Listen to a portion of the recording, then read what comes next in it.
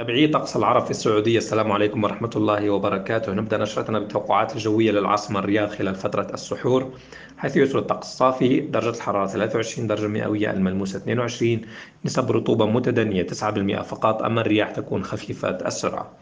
ننتقل الآن تفاصيل الحالة الجوية المتوقعة في باقي مناطق المملكة اليوم الأحد حيث يسود الطقس مستقر في كل من سكاكا 34 إلى 24 عرعر 34 إلى 21 تبوك 33 إلى 22 بالنسبة للمنطقة الغربية مدينة جدة طقس صافي 36 إلى 23 المدينة المنورة 38 إلى 23 مكة المكرمة 40 إلى 26 الطائف 31 إلى 20 المنطقة الجنوبية الغربية الباحة 27 إلى 20 أبها 28 إلى 19 جازان 34 إلى 30 أما المنطقة الشرقية نبدأ بحفر الباطن طقس صافي 36 إلى 23 الدمام 36 إلى 23 الإحساس 36 إلى 24 درجة مئوية.